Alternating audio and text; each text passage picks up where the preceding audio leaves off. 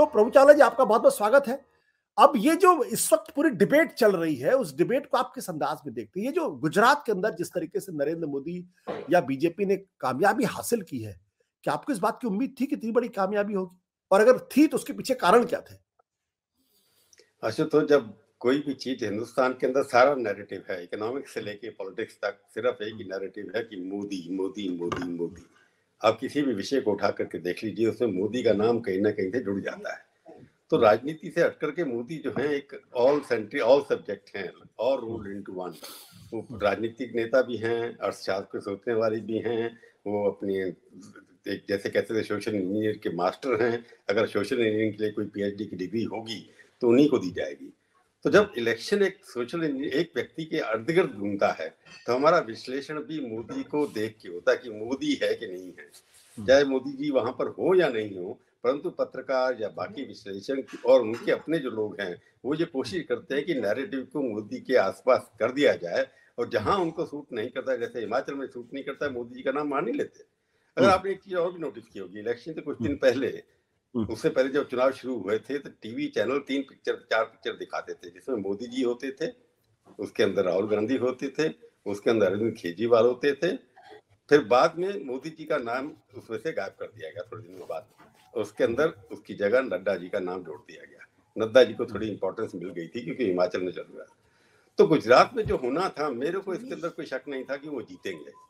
ऐसा कोई भी उसमें डाउट नहीं था कि वो जीतेंगे परंतु जो उन्होंने तय कर लिया क्योंकि अमित शाह की दोनों वहाँ से आते हैं इसमें हम्म। मोदी जी की प्रतिष्ठा दाव पर नहीं थी बल्कि गुजरातियों की अपनी प्रतिष्ठा दाव पर थी क्योंकि ऐसा कोई भी हिंदुस्तान की हिस्ट्री में नहीं है जबकि पहले गुजराती एक मुराद देसाई बने थे चीफ प्राइम मिनिस्टर यहाँ पर परंतु वो हम्म। इतने दिन तक वहाँ पर चीफ मिनिस्टर नहीं रहे तो वहाँ का व्यक्ति अगर प्राइम मिनिस्टर है और वहाँ का मंत्री होम मिनिस्टर भी है एक ही स्टेट से हिंदुस्तान की हिस्ट्री में पहली बार हुआ कि प्रधानमंत्री और गृह मंत्री दोनों एक ही स्टेट से आते हैं। और दोनों को वहाँ पर प्रतिष्ठा का सवाल था उनके लिए भी और वहाँ के गुजरातियों के लिए कि इस बार हमने रिकॉर्ड तोड़ना है। और अमित शाह ने और जो संघवी साहब उनके होम मिनिस्टर हैं उन्होंने कह दिया था हम एक सौ पचास सीटें ज़्यादा लेंगे। तो उनका ये था कि हमने रिकॉर्ड तोड़ना कि हालाँकि कम्युनिस्ट पार्टी भी था तीन बार जीती थी वहाँ पर वेस्ट बंगाल के अंदर। और छठी बात ये नवीन पटनायक की ज्योति थी। अगर चीफ मिनिस्टर को देखकर चले तो चीफ मिनिस्टर का रिकॉर्ड अब नवीन पटनायक होल्ड करते हैं ज्योति बसु को क्रॉस कर लिया उन्होंने। हम्म। उससे पहले चैमलिंग थे उन्होंने रिकॉर्ड को तो रखा था पच्चीस साल के।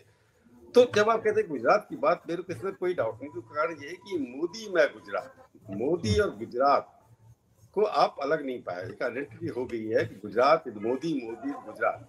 अभी हम्म। वो स्टेज आने वाली है जिसमें लोग कहेंगे Modi in India India Modi that अभी आने वाली है और आ सकती है।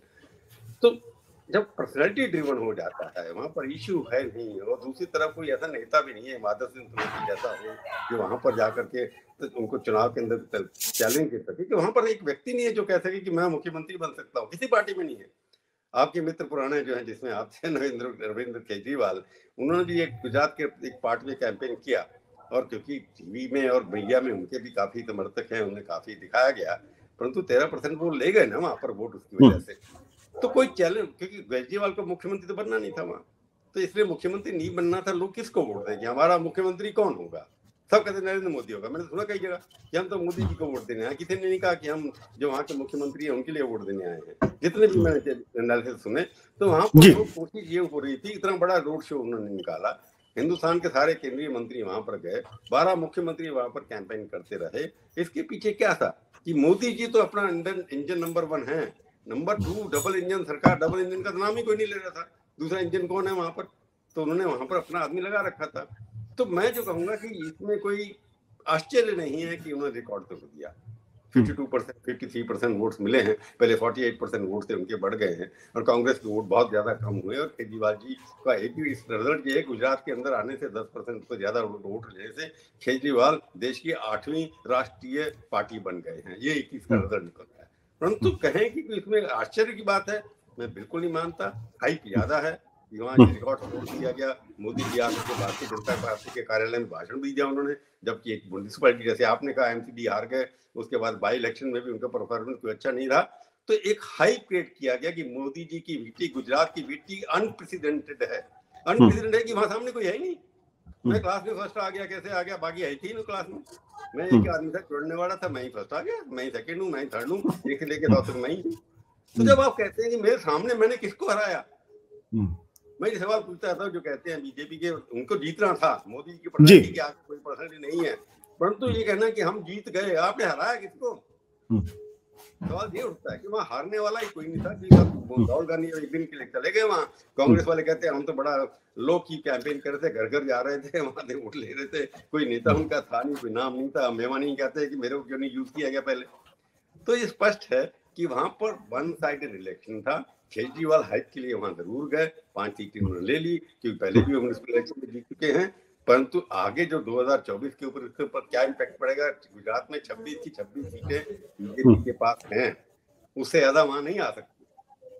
उससे ज़्यादा नहीं आ सकती पर गुजरात के अंदर अगर कहीं भी कोई भी अगर पहले से कम सीटें आती तो बाकी राशि लोग क्वेश्चन कर ले जाते कि मोदी जब अपनी स्टेट को नहीं बचा पाते रिटेन नहीं कर पाते तो बाकी देश के लिए क्या करेंगे? परंतु मैंने पहले कहना चाहता हूँ ये मोदी के खिलाफ कोई कैंडिडेट नहीं था बीजेपी के खिलाफ कोई पार्टी नहीं थी इसलिए वहाँ पर अनप्रेसिडेंटेड विक्ट्री हुई। जैसे सोलंकी जी ने पहले की थे 148 सीट लेकर के आए थे उसमें बीजेपी इतना क्लब दी दो सत्य हिंदी का ऐप डाउनलोड करें गूगल प्ले स्टोर पर।